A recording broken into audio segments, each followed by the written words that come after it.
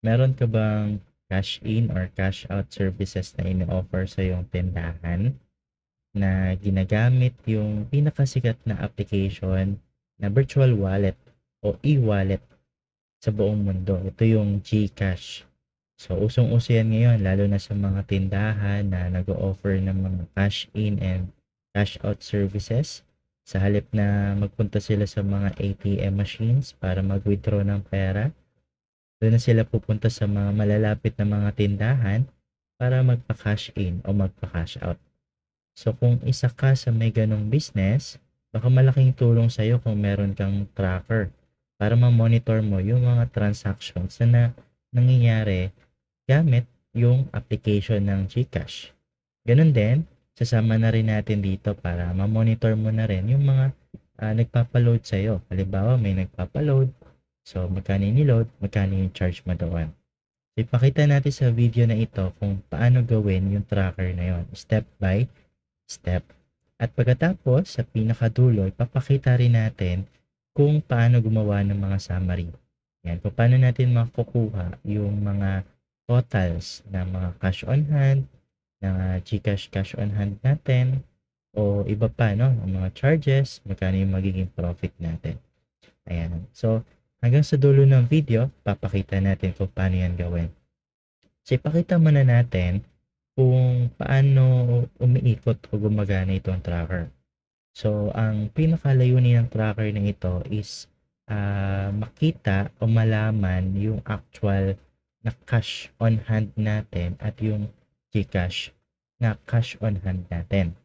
Yan. So, para malaman yon gumagamit tayo ng mga uh, categorized na mga uh, transactions. For example, dito sa uh, bandang dito, may type. Yan. Cash in and cash out ang nakalagay.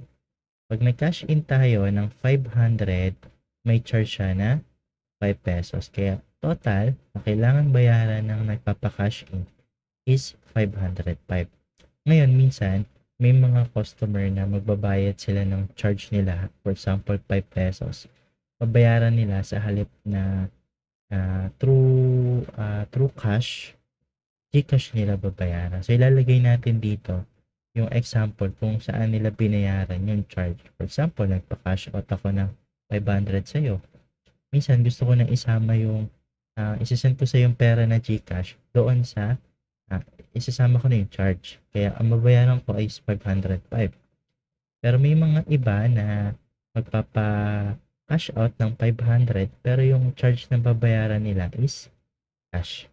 Yan. So alamin natin no, kung uh, paano natin ma-monitor dito sa mga uh, transactions na nangyayari yung ating uh, uh, yung mga amounts ng may pina-cash in or cash out, ganun na rin yung charge na nila, binigay natin doon sa ating customer na may transaction sa atin. So, paano natin gagawin ito? At paano natin isi-set up yung mga charges natin? So, unang-una, uh, gawa muna tayo ng, ano, ano, ng mga list ng mga uh, start range and end range natin. So, kuha tayo ng example, no? So, delete natin yan muna lahat. Yan. For example, uh, ang start range natin is 1 peso. Yan, mag-e-end sa 500. Sorry na, delete ko yung ilang formula dito, no? Yan, may formula yan. Eh. Yan. So, mamaya papakita ko kung paano yan gawin. Uh, delete na rin pala natin. So, let's say 1 peso to 500. Magkano ang charge mo doon? 5 pesos.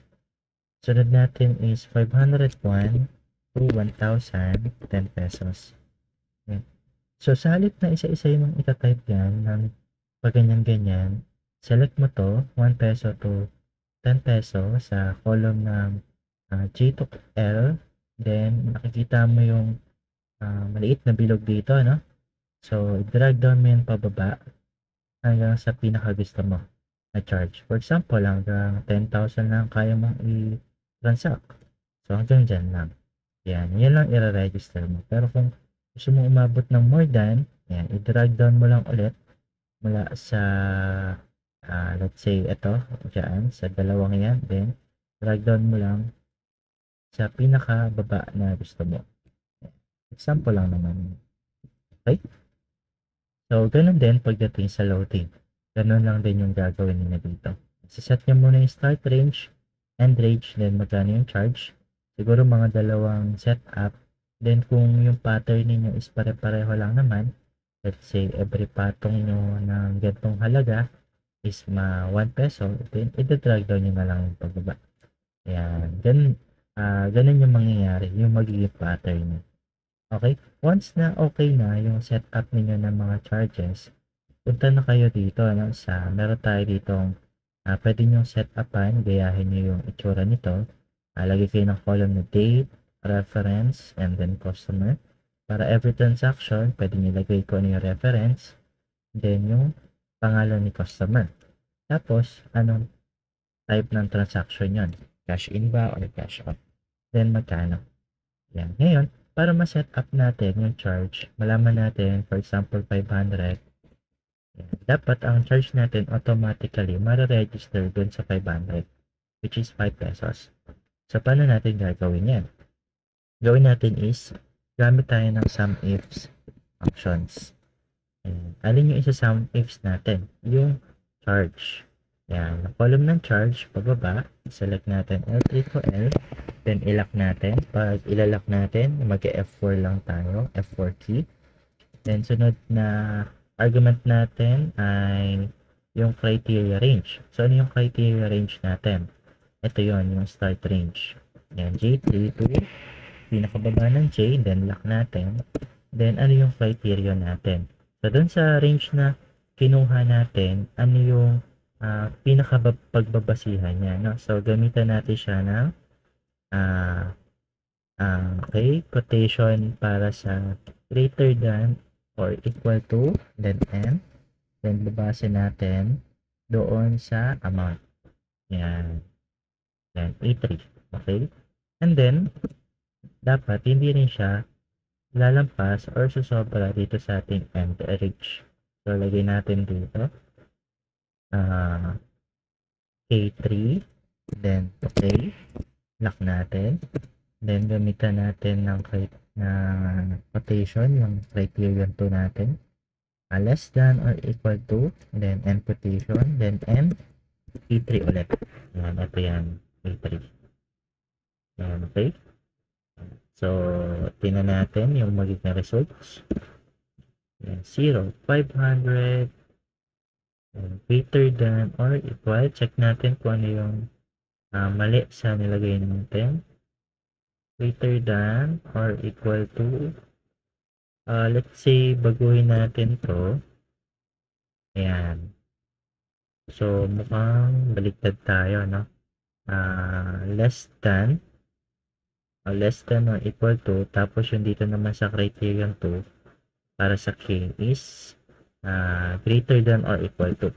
Ayan. So, tingnan natin kung same siya pagdating dito sa baba. Let's say 1,000, dapat 10 pesos yan. Ayan. So, ganun pala, no? Ang range natin dyan ay ito, dun sa J, no? sa column ng J, sa start range is less than or equal to, then A3. Ito naman sa end range ay uh, greater than or equal to uh, E3. Ayan. So, ganun siya. Let's say 501. So, magkano? Let's say 1,001. Yan, 15. 1,001, 15. Let's say uh, 9,645. So, magkano siya? 9,645 dito na siya pasok sa 100. Ayan, let's say 6, 7, 6483. 6483 dito. Ayan, 70. Tama ba? Ayan, dito pala. 65.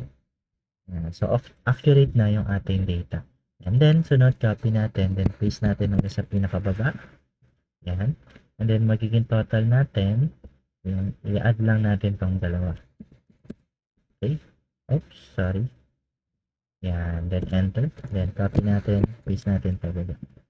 Yan, tapos, now for example, 500, nagpa-cash out siya. Then, yung charge niya, binayaran niya through Gcash na rin. Yan, pwede mo ilagay reference number, then pangalan ni customer. Yan. By the way, yung ating date is automatically, pero changeable naman yan. Pwede mong palitan yan. Uh, pwede natin uh, i-double click yan. Okay, so para magawa yan, uh, data validation tayo. Tapos, add role tayo, no? A3 to A1000, dapat validate siya. So, for example, pumili ka dito. Ayan, yan yung magiging date niya. Yan, double click mo lang siya, lalabas na yung choices ng date. Pwede mong bago-baguhin. Okay, so for example, dito, 18. So, yung format niya, pwede mong gayahin na rin dito. Yan, then format, then number, tapos ito yung format. Okay? So, sunod natin ay loading. So, almost ganun din naman yung kailangan mong gawin sa loading. Yan, lagay mo yung uh, column for date, reference, customer amount, charge total, and then kung yung charge saan niya binayaran. Either cash or Gcash. Yan, minsan uh, yung charge at saka yung load amount, iisa na lang yun eh. Kaya ang ginawa natin dito is yung load and yung charge, saan niya binayaran. For example, nagpa-load siya, sabihin niya, bayaran ko na lang through Gcash lahat. Ayan, so ilalagay mo Gcash. Pero kung nagbayad siya sa'yo through cash, cash na lang. So, paano ba ginagawa yung mga choices na yan tapos may kulay? Madali lang, no? For example, wala yan. Let's say, wala ito, no? Uh, remove natin yung data validation natin. Remove natin, no? Ayan, for example ah. So, paano natin lalagyan yan? So, una, select mo muna yung mga rows or mga cells na gusto mo lagyan ng data validation or ng drop-down menu. Then, add rule tayo. Punta tayo dito sa data. Then, data validation, add rule. Then, sunod natin is drop-down. Yan, drop-down lang. Then, yung mga choices. Let's say, cash out. Tapos, yung isa, cash in. Yan. Pwede mong lagyan ng mga kulay, no? Ah, kung halimbawa cash out mo ay pula, cash in mo ay blue. Yan. Tapos, pwede mong advanced option kung ayaw mo ng chip style, yung mga parang may bilog dyan, pwedeng arrow, wala. Pwede rin plain text, pero pag i-number click mo yan, may choices na lalabas.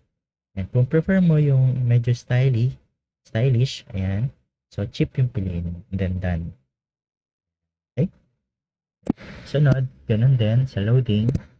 Yan. So, ganun lang din gagawin mo regarding dito sa Gcash or Cash na paraan ng pagbabaya doon sa load na ginawa or uh, gusto ni customer na amount.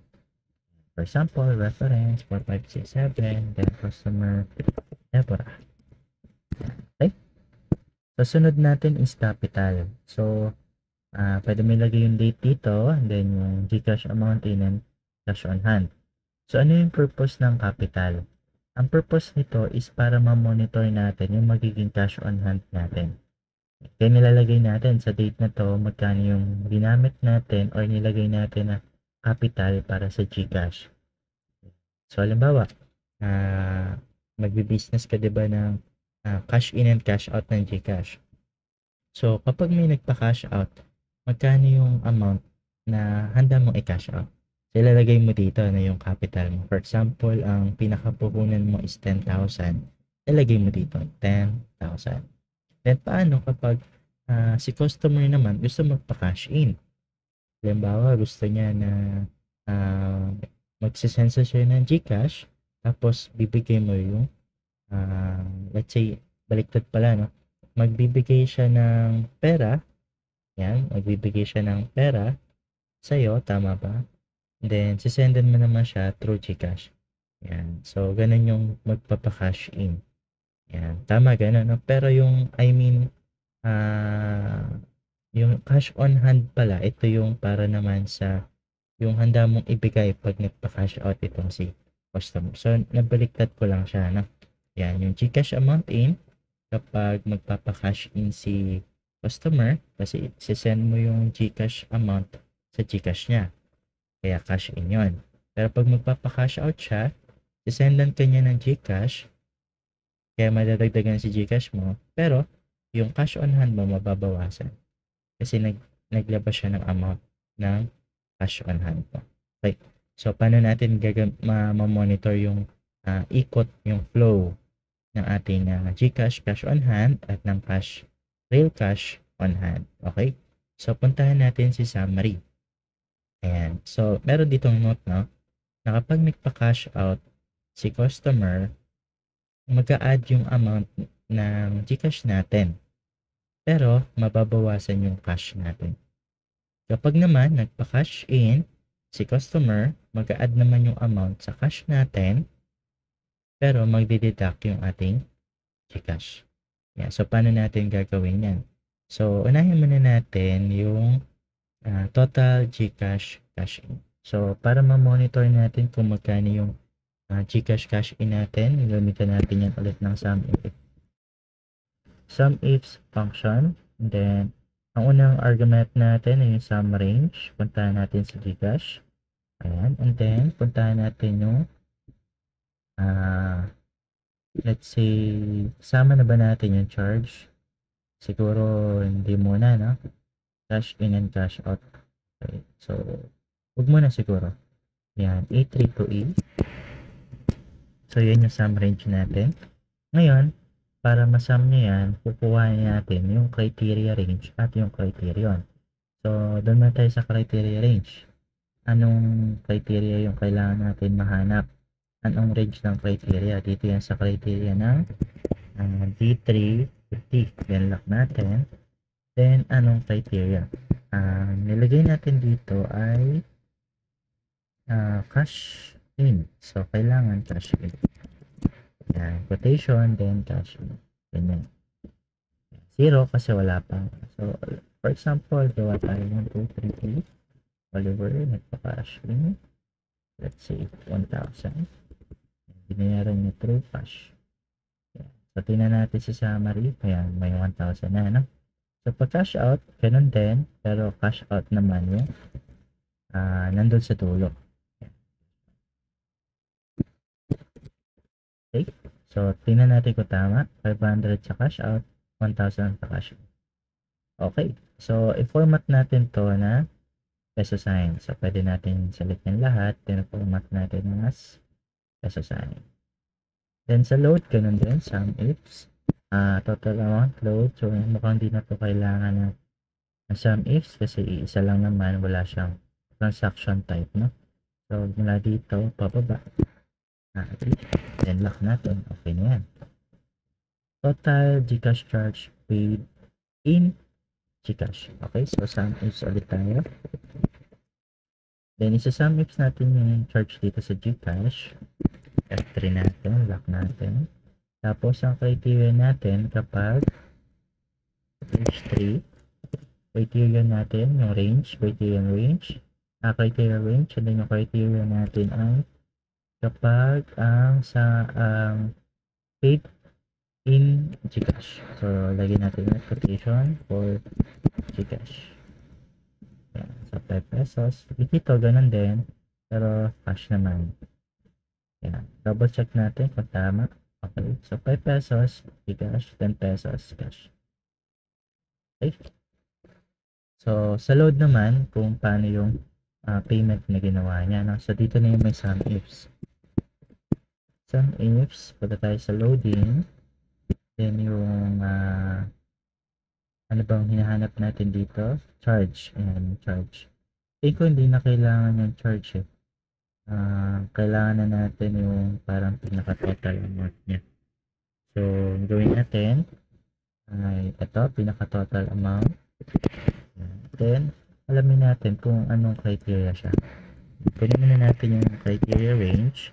Tapos, lagay natin kung anong criteria. Kung cash or Gcash. So, Gcash siya. So, lagay natin dito G. Then, gayahin lang natin yan. Then, dapat to cash.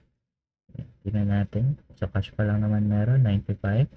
So, ito, lipat natin dito. Lagay natin dito sa taas. So, mag-add tayo dito ng dalawang column. Sa taas. And then, lipat natin tong dalawang to dito. Yan. Ito, gawin natin parang sa pinakataas na lang siya. Parang pinaka-total, no? So, i-bold lang natin, then palitan natin ng kulay pula. Yan. So, alisin na natin yung isa dito. So, sama na siguro natin yung total para hindi na isama yung charge. Uh, parang hindi kasi isama yung charge. So, isama na natin yung total. So, F yung kukunin natin na F yung kukunin natin na column sa halip na D. Yan. Para yung total, 95. Tapos, ito yung uh, pag-differentiate. Pag divide no? Kung saan napunta yung 95, saan napunta yung ibang uh, number. For example, 4, 5, 6, 6. Then, para ulit nagpalo ng 100. Gamit ang Gcash. Payment method niya is Gcash. At tingnan natin sa summary.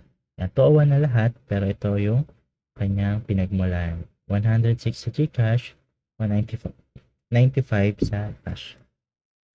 Okay. So, ganun din. Total Gcash charge. Then, yung charge nito kunin natin sa Gcash dito.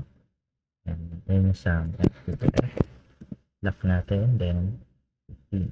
So, gayahin na rin natin yung format. Uh, paste natin yung format. Oh, sorry. Ito, format. Paste format only lang. Yan. So, alisin na natin to. Yan natin siya magagamit. Yan. Sa capital naman, kunin natin yung sum ng capital. Yan dito. So, kunin natin lahat yan. Then, lock natin. Then, kuyahin natin yung format. Format only. Tapos, yung pinagmula. No? So, yung sum ng uh, Gcash is ito. Yan. So, puro mga capital lang ito ha. Tapos yung ito naman sa katabi niya yung C Yan. Lock natin. C to C, then lock. Then profit. Yan. Ang profit natin na pinaka basihan is yung mga charges. So, let's say yung charge, parang ito na rin yun eh, no? Profit. So, parang i-aano lang natin sila para mas ma-highlight natin. So, equal natin yung sum ng ating profit dito sa Gcash, yung charge dyan, reflect, plus natin sum sa capital. Oh, sorry, sa loading charge. Okay. So, 26 na. Then, i-differentiate natin na yung sum ng Gcash, dito natin po yan. 3. Then, ito naman doon sa loading. Ito tayo sa loading. Dito. Okay. So, copy natin ulit yung ano para madaling ma-identify format. Okay. So, sunod natin is uh, lagyan lang natin to no, sum yung parang cash in and cash out niya So, sum if ang kailangan dito. Sum if. Sum ifs Gcash, ito, let's say amount, or kasama na natin yung total. Hmm. Medyo confusing na. Kung mas maganda isama yung total or yung amount lang. Okay, so siguro dito na lang muna. Uh, A3, uh, pwede naman yung mabago eh kung mas prefer nyo yung total. Yan. E3 to E. Then lock. Then, punta tayo dito. Cash in muna. Yan. Yung criteria, criteria range is D3 to D. Then, ang criterion is cash in. Ngayon, uh, ma-minus natin kapag may cash out. Sum is, then ulit, dito sa amount. Yan. Then, lock. Then, sa criteria range na D D3 to D then kapag cash out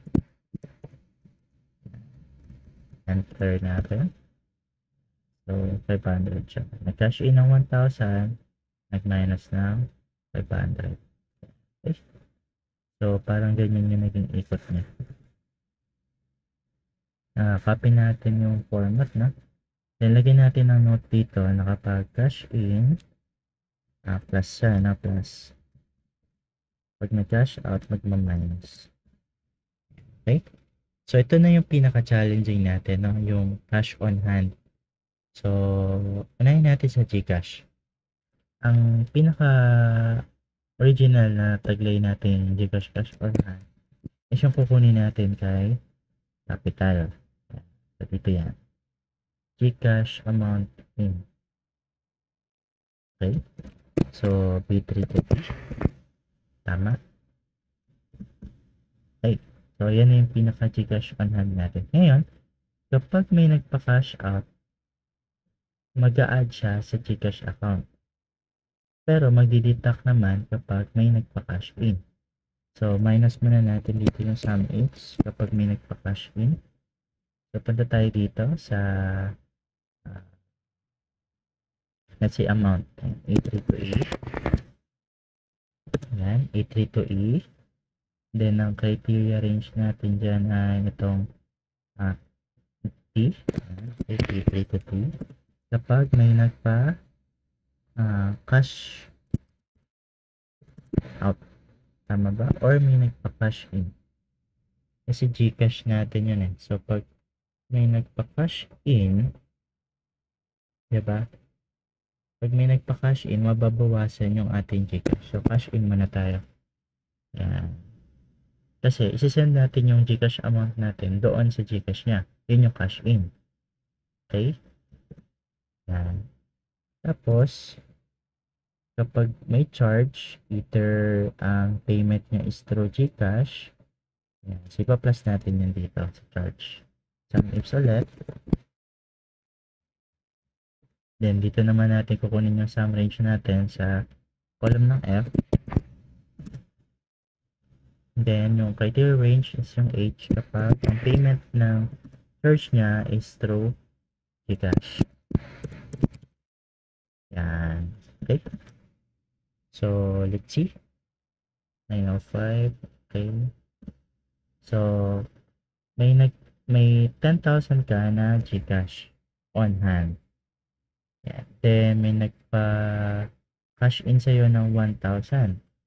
So, yung 1,000, mapupunta sa'yo yung 1,000 na na pera, pero mababawasan yung Gcash mo kasi isasend mo yun sa account. So, magiging 9,000. Yan. So, yun yung parang magiging pinaka-ano natin. Basis natin na 9,000 na lang yung Gcash. Gcash on hand natin. Pero, uh, pag may nagbayad naman sa'yo ng uh, charge niya through Gcash, so madadagdagan yung Gcash natin. Ayan, so may 5 pesos tayo na Gcash na pinayaran ng charge na 5 pesos. Kaya ang total na Gcash cash on hand natin dapat ay 9,005 pesos. Okay? So, paano naman kapag may nagpa-cash out? So, dito na mababawasan yung ating Gcash cash out o madadagdagan kasi nga nagpa-cash out siya. So, sisendan ka nila ng pera sa Gcash nila papunta sa'yo para sila bibigyan mo naman ng cash. Okay? So, madapat madadagdagan. So, sum is tayo. Pata natin si Gcash. Then, itong amount. Ayan. Dito to E. Then, yung criteria natin dito sa katabi. Okay, then kapag cash out. Yan, kapag cash out. Then, madadagdagan kapag ang charge natin ay nandito. Ayan. So, tingin ko okay na siya dyan. Na ito kasi, you know, since nakapag-gcash yung nakalagay, i-automatically add niya. Ayan. So, kapag naglagay pa tayo ng add dito, madadoble siya. Ayan, okay?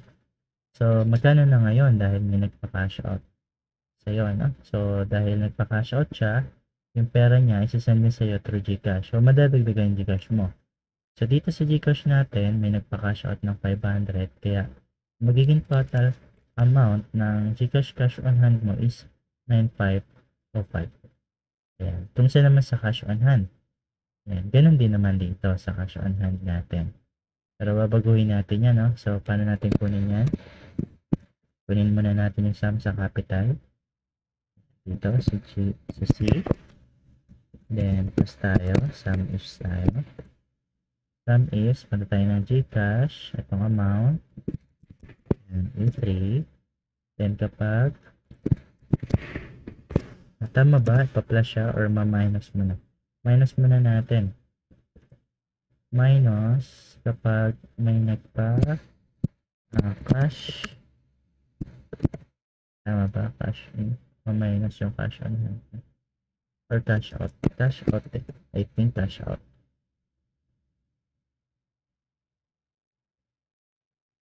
Minus. Oh. Ma-minus niya kapag cash out. Yung on hand mo na cash. Oo, tama. Bakit? Kasi mag-aabot ka ng pera eh. So, yung cash mo na on hand, mababawasan. So, minus siya. Cash out. Next ay uh, sum ifs ulit. Pero plus na siya kapag sa charges sum ifs. Kapag ang charges na pinambayad niya is through cash. Punta tayo dito sa criteria range. Then cash. Okay. Then, plus naman kapag may nagpa uh, cash in sa'yo, no? So, alam ba, nagpa-cash in siya. So, nagpa-cash in siya. Sasendan mo siya ng pera gamit ang Gcash mo sa Gcash account niya. Pero, ang paraan ng pagka-cash in niya is gamit yung cash mo. So, bibigyan kanya ng pera, kaya madadagdagan yung cash mo. So, plus siya. Sa ifs, ano tayo dito kay uh, amount. Okay, entry ulit. Kapag ito ang cash in. Ayan. Cash in. Ayan, okay. So, tingnan natin ang dapat pag pinagsama natin, accurate yung ating magiging result. So, tingnan natin. Uh, huh? So, let's say, ito yung ating mga naging total cash, ano natin, no? So, sama na natin itong dalawa. Itong dalawa. So, total is 20,000 and 15 pesos, no? Uh, huh? Tama ba? Or hindi naman. Parang, kumbaga may profit na tayo na 15 pesos. Pero dito kasi, profit natin is 26. Okay. So, profit to for uh, Gcash. Yan. So, profit yan for Gcash.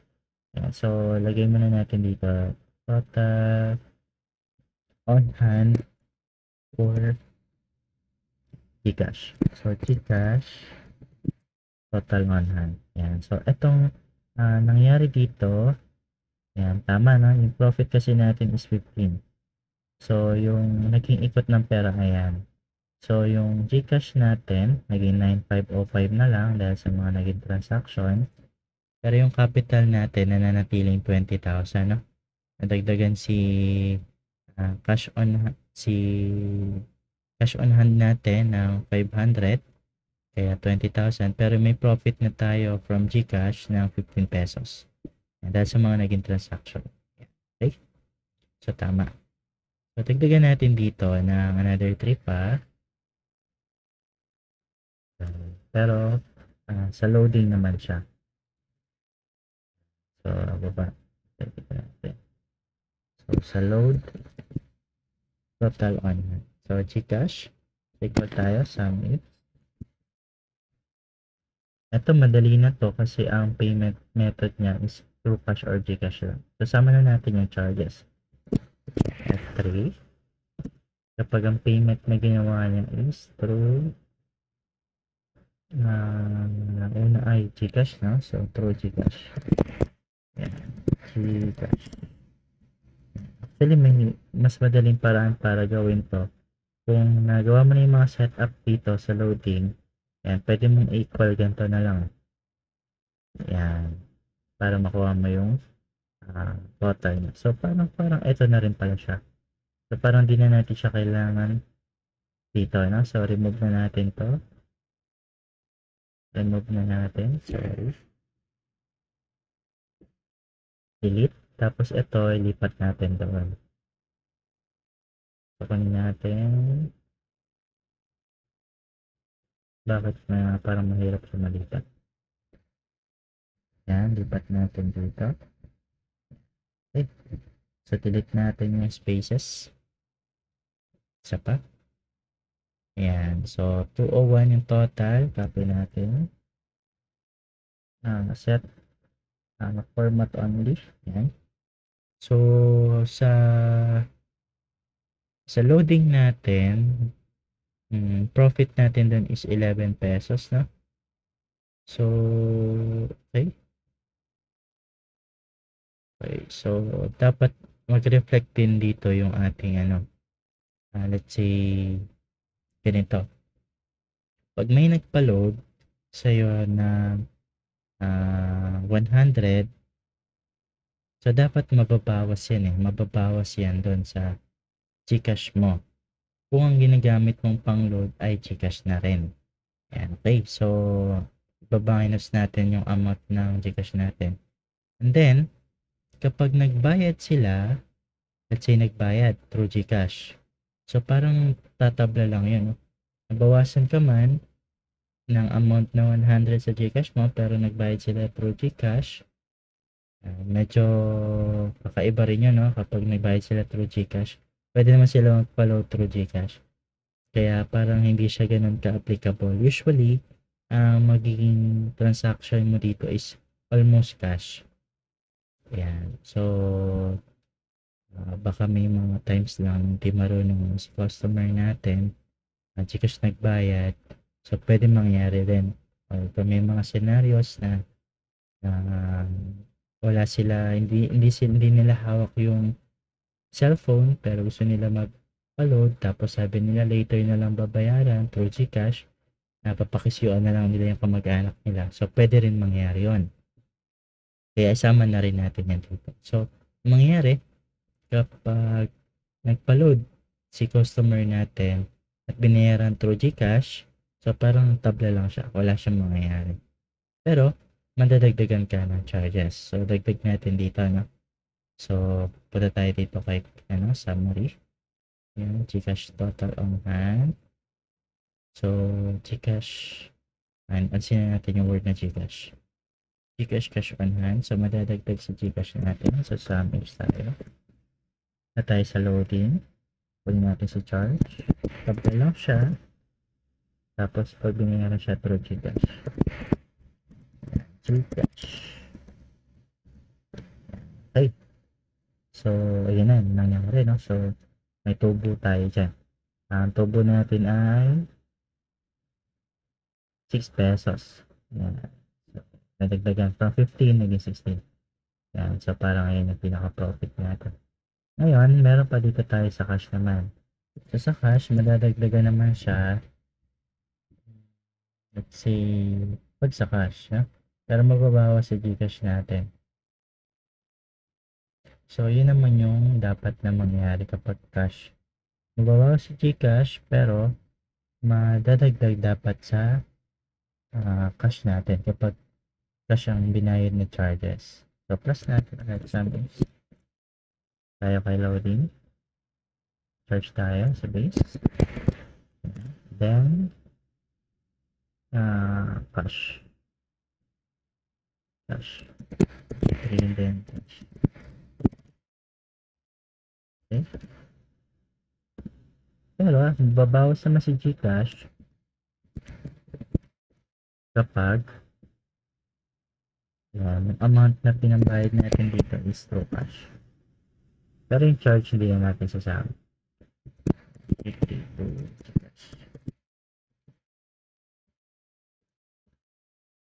Okay? Tama ba?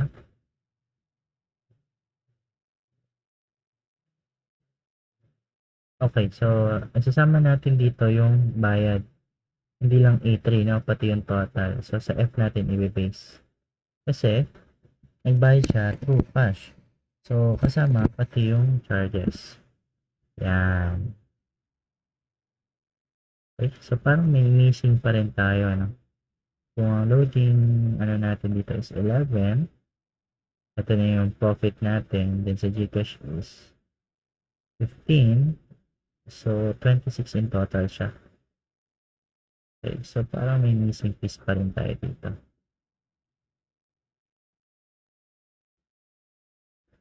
Plus, then minus.